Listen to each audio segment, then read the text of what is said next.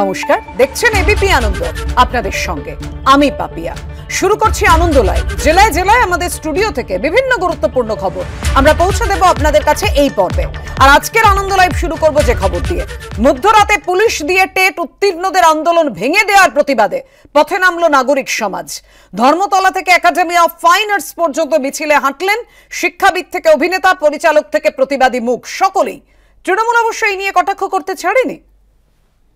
পুলিশের ভূমিকার প্রতিবাদে ও যোগ্যদের নিয়োগের দাবিতে শনিবার প্রতিবাদ মিছিলে পা মেলায় নাগরিক সমাজ। ধর্মতলা থেকে একাডেমি অফ ফাইন আর্টস চত্বর অব্দি মিছিলের সামনে সারিতে ছিলেন শিক্ষাবিদ পবিত্র সরকার, পরিচালক অনেক দত্ত। কামদুনির প্রতিবাদী মুখ মৌসুমী কয়ালরা। চোরের মতো রাত্রিবেলায় পুলিশ এসে এই ছেলে মেয়েগুলিকে তুলে দিল। তাছাড়া যে সার্বিক দুর্নীতি, অপশাসন এই সব কারণেই আমাদের এই বয়সে আর তো এক্ষুনি লাঠি সোটা নিয়ে নামতে পারছি না। দরকার হলে তাও করতে হবে কারণ এরভাবে বেঁচে থেকেও তো কোনো লাভ নেই। আমার নিজের বিশ্বাস এই জাতীয় আচরণ সরকার যত বাড়াবে প্রতিবাদ প্রতিরোধ তত বাড়বে। বিমান বসু মোহাম্মদ সেলিম আব্দুল মান্নানের মতো রাজনীতিকরা অংশ নিলেও মিছিলে ছিল না কোনো দলীয় পতাকা। যা শুভবুদ্ধিসম্পন্ন নাগরিকরা যে আহ্বান জানিয়েছে এ ধরনের সমস্ত সমাজের সব স্তরে শুভবুদ্ধিসম্পন্ন মানুষের এগিয়ে আসা উচিত বলেই আমরা মনে করি তাদের সমর্থনে আমাদের দাঁড়ানো উচিত। তাদেরকে ধন্যবাদ জানাই। আমি প্রগতিশীল আমি এই বুদ্ধিজীবীদের আমি বলছি প্লিজ আপনারা আপনাদের সঙ্গে দিন। বাম বুদ্ধিজীবী বলা ঠিক হবে না এটা তো সিপিএম এর মিছিল। তাদের কোনো গুরুত্ব নেই। শনিবার কলকাতায় পথে নামে বিজেপির শিক্ষক সেলো। সেন্ট্রাল অ্যাভিনিউর কাছে পুলিশ মিছিল আটকে কয়েকজনকে গ্রেফতার করলে সেখানেই বসে পড়েন বিজেপির শিক্ষক সেলের সদস্যরা। উজ্জ্বল মুখোপাধ্যায় শিবাশিস মৌলিক ও জয়ন্ত পালের রিপোর্ট এবিপি আনন্দ। একদিকে নাগরিক সমাজ যখন পথে নেমেছে তখন আন্দোলনকারীদের পাশে দাঁড়িয়েছেন আরও একজন সাহিত্যিক। নেহা কি বললেন? শীর্ষেন্দু মুখোপাধ্যায়। পুলিশ দিয়ে তুলে দেওয়াটা কোনো সমাধান নয়। দরকার মুখোমুখি বসে আলোচনার।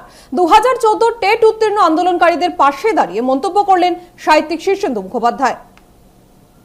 বৃহস্পতিবার মাঝরাতে দু হাজার প্রাইমারি টেট উত্তীর্ণ নন ইনক্লুডেড চাকরি প্রার্থীদের চুরাশি ঘণ্টার আন্দোলন এভাবেই পনেরো মিনিটে ভেঙে দিয়েছিল পুলিশ। টেনে হিচড়ে সরিয়ে দেওয়া হয়েছিল আন্দোলনকারীদের। আমাদেরকে অন্যায় ভাবে আটটা বছর নষ্ট করেছে আজকে আমরা কিন্তু আবার আসব। এবার এ নিয়ে মুখ খুললেন শীর্ষেন্দু মুখোপাধ্যায়। আন্দোলনকারী তরুণ তরুণীদের পাশে দাঁড়িয়ে সরকারের তরফে আলোচনার পক্ষে সওয়াল করলেন তিনি। কোথায় জটিলতা কি ব্যাপার সেটা ওদের সঙ্গে তো একটা পরিষ্কার আহ, কারও একটা কথা বলা এখন দরকার। কারণ এই ছেলে মেয়েগুলো তো আমাদেরই ঘরের ছেলে মেয়ে। মুখোমুখি বসে একটা আলোচনা করার এখন খুব দরকার। শুক্রবারই টেট আন্দোলনকারীদের দাবি উপেক্ষা করে কুড়িটি জেলায় এগারো হাজার সাতশো পঁয়ষট্টিটি শূন্য পদে শিক্ষক নিয়োগের বিজ্ঞপ্তি প্রকাশ করে দিয়েছে প্রাথমিক শিক্ষা পর্ষদ। অন্যদিকে নিজেদের দাবিতে অনর দু হাজার প্রাইমারি টেট উত্তীর্ণ নট ইনক্লুডেড চাকরি প্রার্থীরাও আমরা সেই নোটিফিকেশন মানছি না। এই কারণে গৌতমবাবু বলুক যে দু হাজার চোদ্দ নন ইনক্লুডেড সকলের নিয়োগ কমপ্লিট হয়ে গেছে। আমরা নতুন করে নোটিফিকেশন দিয়েছি। তাহলে আমরা মানব। আমাদের কোনো দুর্যোগই আমাদেরকে দমাতে পারবে না। আজকে দীর্ঘদিন ধরে দিনের পর দিন আট বছর ধরে বঞ্চনার শিকার আজকে আমরা। সাধারণ ঝড়কে আমরা ভয় পাই না। অনির্বাণ বিশ্বাস পার্থপ্রতিম ঘোষ ও সুকান্ত মুখোপাধ্যায় রিপোর্ট এবিপি আনন্দ। উপলক্ষ বিজয়া সম্মিলনী। কিন্তু সেই মঞ্চ থেকেই শোনা গেল শাসকের পঞ্চায়েত ভোটের বার্তা। আসন্ন পঞ্চায়েত ভোটে পরিচ্ছন্ন ভাবমূর্তির প্রার্থী নির্বাচনের আশ্বাস দিলেন বনগাঁ তৃণমূল জেলা সভাপতি। পঞ্চায়েত ভোটের আগে শাসকের ভাবমূর্তি বাঁচানোর চেষ্টা উঠছে প্রশ্ন, কটাক্ষ করেছে বিজেপি। আগামী দিনে আমাদের রাজ্য স্তর থেকে সর্বভারতীয় সাধারণ সম্পাদক অভিষেক ব্যানার্জি স্বচ্ছ ভাবমূর্তি সম্পন্ন আপনারা ঠিক করে দেবেন আগামী দিনে পঞ্চায়েতে তাদের প্রার্থী করা শিক্ষক নিয়োগ থেকে শুরু করে গরু, কয়লা পাচার কিংবা চিটফান্ড দুর্নীতির অভিযোগ। প্রাক্তন মন্ত্রীর ঘনিষ্ঠর বাড়ি থেকে টাকার পাহাড় উদ্ধার। পরপর গ্রেফতারি। পঞ্চায়েত ভোটের আগে রাজ্যে সাড়া ফেলে দিয়েছে একের পর এক এসব ঘটনা। এই ইস্যুগুলিকে হাতিয়ার করেই তৃণমূলের বিরুদ্ধে আন্দোলনের ঝাঁঝ বাড়াচ্ছে বিরোধীরা।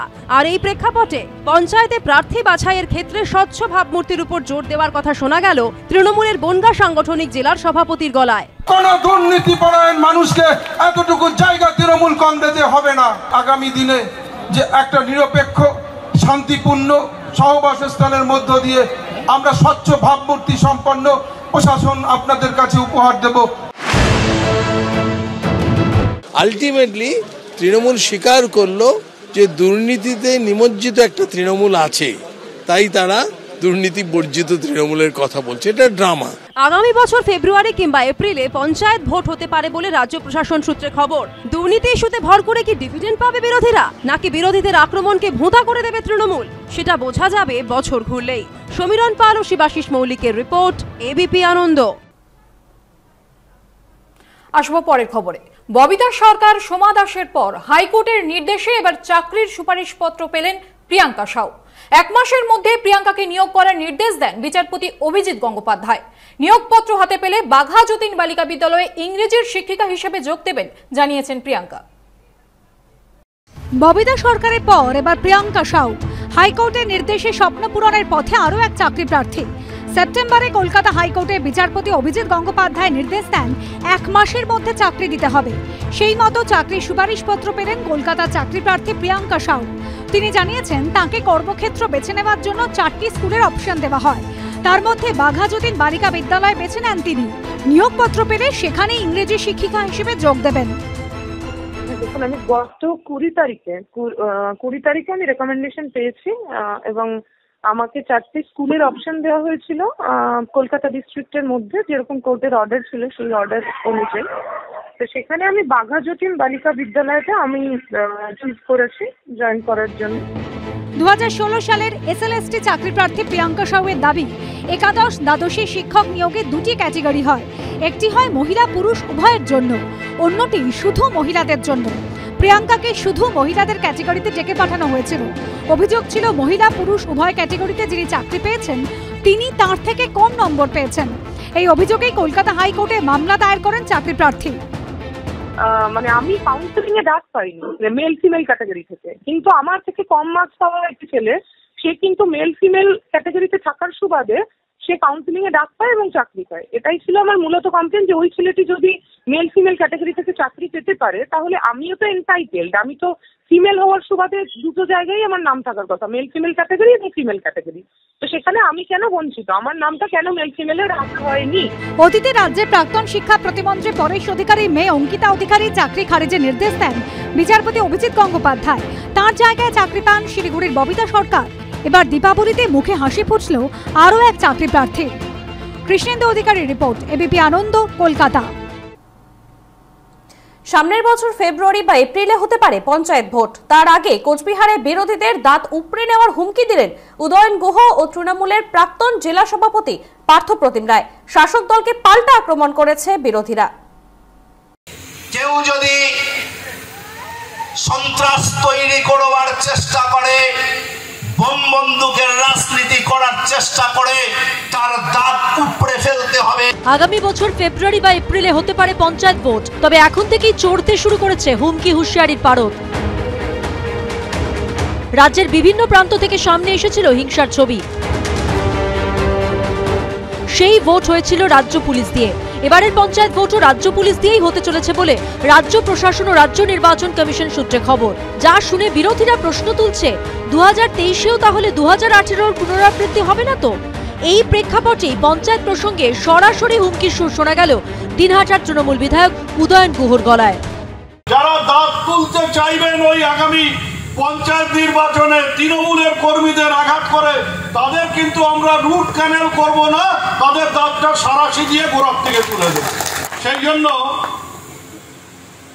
আমাদের সারাশিও রেডি থাকবে। নিজেদের পার্টিতে তো বম বন্দুক চলছে। অন্য লোক লাগবে কোথায়? রোজ গুলিগোলা, রোজ গালাগালি, বিজয়া সম্মেলনে গালাগালি দিতে বাড়ি যাচ্ছে। এইসব হুমকি হুঁশিয়ারির প্রভাব পঞ্চায়েত ভোটে পড়বে না তো? আবার ফিরবে না তো অশান্তির ছবি? ভোটারদের মনে উকি দিচ্ছে এই সব আশঙ্কা। শুভেন্দু ভট্টাচার্য, বিটন চক্রবর্তী ও অনির্বাণ বিশ্বাসের রিপোর্ট, এবিপি আনন্দ। বীরভূমের দেউচা পাচামির অনুষ্ঠানে ফেরহাদ হাকিমের মুখে উঠে এলো সিঙ্গুর এবং টাটার প্রসঙ্গ। মমতা বন্দ্যোপাধ্যায় সুরে সিপিএম কে আক্রমণ করলেন রাজ্যের পুরমন্ত্রী পাল্টা জবাব দিয়েছে সিপিএম।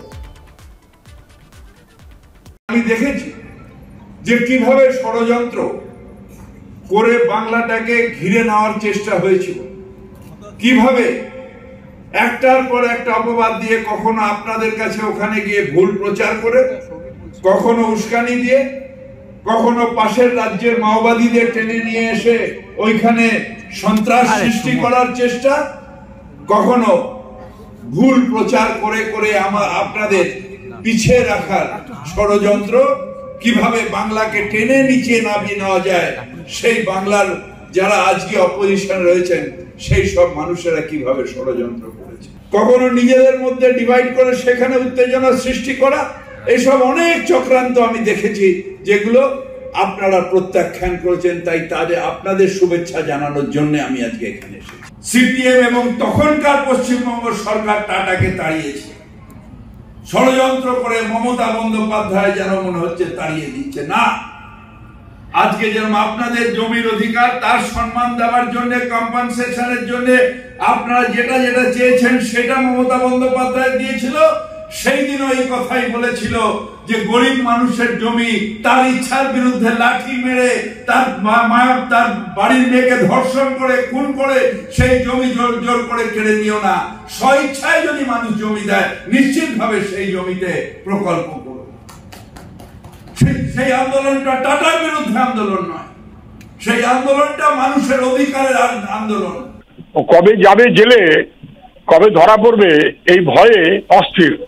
ফলে ঠিক কাজ করছে না, যেমন মুখ্যমন্ত্রীর কাজ করছে না, ওরও কাজ করছে না। ওরা ভালো করে ডাক্তার দেখাক, ক্যালসিয়ামটা বোধহয় ঠিক আছে, কিন্তু সোডিয়াম, পটাশিয়াম ব্যালেন্সে গন্ডল করছে এটা এত স্পষ্ট বোঝা যাচ্ছে। ওকে বলুন, আজে বাজে কথা না বলে যদি মাওবাদী এবং ইত্যাদি এইসব সংক্রান্ত ব্যাপার হয়, তাহলে সেটা মমতা ব্যানার্জি কথা বলে নিন। আরে কিষেনজি তো দেখতে চেয়েছিলেন মমতা ব্যানার্জিকে মুখ্যমন্ত্রী। আর কিষেনজিদের সাহায্য নিয়েই তো যা জঙ্গলমহল বারোটা বাজার বেজেছে, একের পর এক আদিবাসী মানুষ মারা গেছে। তো মাওবাদী আর তৃণমূল, এ তো প্রায় একা- একাকার হয়ে গেছিল না? মাও ফাও কিছু নেই। যদি মাওবাদীরা কিছু করে থাকে, তাহলে মমতা ব্যানার্জিকে বলুন সাইড লাইনে গিয়ে ফুসফুস করে কথা বলে ঠিকঠাক করে নিতে। অযথা কেন বাজার গরম করছেন? মমতা বন্দ্যোপাধ্যায়ের সঙ্গে এবার দুই কিংবদন্তির তুলনা। সচিন তেন্ডুলকার ও লতা মঙ্গেশকরের সঙ্গে মমতা বন্দ্যোপাধ্যায়ের তুলনা করলেন ব্যারাকপুরের তৃণমূল বিধায়ক ও পরিচালক রাজ চক্রবর্তী। জানিয়ে তীব্র কটাক্ষ করেছে বিরোধীরা। শুরু হয়েছে বিতর্ক। মমতা বন্দ্যোপাধ্যায় প্রসঙ্গে বলতে গিয়ে মা শারদা এবং রানী রাসমণির কথা টেনে বিতর্কে জড়িয়েছিলেন তৃণমূলের দুই নেতা। এবার কার্যত সেই রকমই সুর শোনা গেল ব্যারাকপুরের তৃণমূল বিধায়ক রাজ চক্রবর্তীর গলায়। তিনি তৃণমূল নেত্রীর তুলনা টানলেন লতা মঙ্গেশকর ও সচিন তেন্ডুলকরের সঙ্গে। কারণ মমতা বন্দ্যোপাধ্যায় হচ্ছে এমন নেত্রী, তাকে যেমন লতা মঙ্গেশকর, সচিন তেন্ডুলকর, এরা কিন্তু জন্মে যাদের ভগবান পাঠিয়েছে কোন একটা কারণের জন্য। তেমনও কিন্তু মমতা বন্দ্যোপাধ্যায়। শুক্রবার উত্তর চব্বিশ পরগনার বনগায় তৃণমূলের বিজয়া সম্মেলনের অনুষ্ঠানে এই মন্তব্য করেন তিনি। তখন মঞ্চে ছিলেন বাগদার বিধায়ক বিশ্বজিৎ দাসও যিনি এর আগে তৃণমূল নেত্রীর মধ্যে রানী রাসমণির ছায়া খুঁজে পেয়েছিলেন। আমার অনুভব হয়েছে সাধারণ মানুষের কথায় যে মমতা বন্দ্যোপাধ্যায়ের মধ্যে আমরা রানী রাসমণির ছায়া পেয়েছি। এবার মমতা বন্দ্যোপাধ্যায়ের প্রশংসা করতে গিয়ে তৃণমূল বিধায়ক রাজ চক্রবর্তী যে মন্তব্য করেছেন তা নিয়ে কটাক্ষ ছুড়ে দিতে দেরি করেনি বিরোধীরা। অ্যালবার্ট আইনস্টাইন বলেননি আমি সেটাই এখনও অবাক হচ্ছি। এরপরে হয়তো কোনো তৃণমূল কংগ্রেস নেতা বলবেন যে অ্যালবার্ট আইনস্টাইনের মতো মমতা বন্দ্যোপাধ্যায় নতুন কিছু আবিষ্কার করে পশ্চিমবঙ্গতে মানুষকে মন খুলে হাসবার মতন সুযোগ করে দেওয়াটাই এখন এই তৃণমূল নেতাদের বড় কাজ আমি দেখতে পাচ্ছি। মমতা বন্দ্যোপাধ্যায়কে কালিমালিপ্ত করার চেষ্টা চলছে বলেও তৃণমূলের বিজয়া সম্মেলনী থেকে অভিযোগ করেন বিধায়ক রাজ চক্রবর্তী। সমীরণ পালের রিপোর্ট এবিপি আনন্দ উত্তর চব্বিশ পরগনা। আসছি আবহাওয়ার খবরে। চোখ রাঙাচ্ছে ঘূর্ণিঝড় চিত্রাং নিম্নচাপ শক্তি বাড়িয়ে আন্দামান সাগরে তৈরি হয়েছে গভীর নিম্নচাপ। কালীপুজোর সকালে পরিণত হবে ঘূর্ণিঝড়ে। পূর্বাভাস আবহাওয়া দপ্তরের উপকূলবর্তী এলাকায় প্রবল ঝড় বৃষ্টির আশঙ্কা। বৃষ্টি হতে পারে কলকাতা সহ দক্ষিণবঙ্গের অন্যান্য জেলাতেও। দুর্গাপুজোর পর এবার কালীপুজোতেও বাংলার আকাশে দুর্যোগের ঘনঘটা। ঝড় বৃষ্টিতে কি মাটি হয়ে যাবে আলোর আনন্দ উৎসব? দীপাবলির কাউন্টডাউনের মধ্যে উৎসবপ্রিয় মানুষের মনে ঘূর্ণিঝড় চিত্রাঙের আশঙ্কা। কারণ অশনি সংকেত দিয়েছে আলিপুর আবহাওয়া দপ্তর। আবহাওয়াবিদরা জানিয়েছেন, আন্দামান সাগরে তৈরি হয়েছে একটি নিম্নচাপ। পূর্বাভাসে বলা হয়েছে, ক্রমশ শক্তি বাড়িয়ে তা রবিবার পরিণত হবে গভীর নিম্নচাপে। কালীপুজোর দিন সকালে তা পরিণত হবে ঘূর্ণিঝড়ে। ডিস্টেন্স হিসাবে যদি আমরা দেখি পোর্ট ব্লেয়ার থেকে একশো দশ কিলোমিটার নর্থ নর্থ ওয়েস্টে আর আমাদের সাগর আইল্যান্ড থেকে অনেকটা দূরে এখনও চোদ্দোশো ষাট কিলোমিটার সাউথ সাউথ ইস্ট চব্বিশ তারিখ সকাল নাগাদ সাইক্লোন বা ঘূর্ণিঝড়ে পরিণত হবে। পরিস্থিতি মোকাবিলায় দমকল বিভাগের পক্ষ থেকে খোলা হয়েছে কন্ট্রোল রুম টোটাল ছেচল্লিশটা আমরা টিম তৈরি করেছি। পূর্ব মেদিনীপুর পশ্চিম মেদিনীপুর মিদনা ঝাড়গ্রাম হাওড়া হুগলি সাউথ চব্বিশ পরগনা নর্থ চব্বিশ পরগনা কলকাতা। বঙ্গোপসাগরে একটি গভীর নিম্নচাপের সৃষ্টি হয়েছে। দীঘার সমুদ্র সৈকতেও নজরদারি চালাচ্ছে প্রশাসন। আগামী কয়েকদিন মৎস্যজীবীদের সমুদ্রে না যাওয়ার পরামর্শ দেওয়া হয়েছে। পার্থপ্রতিম ঘোষ রুমা পাল ও ঋত্বিক প্রধানের রিপোর্ট এবিপি আনন্দ।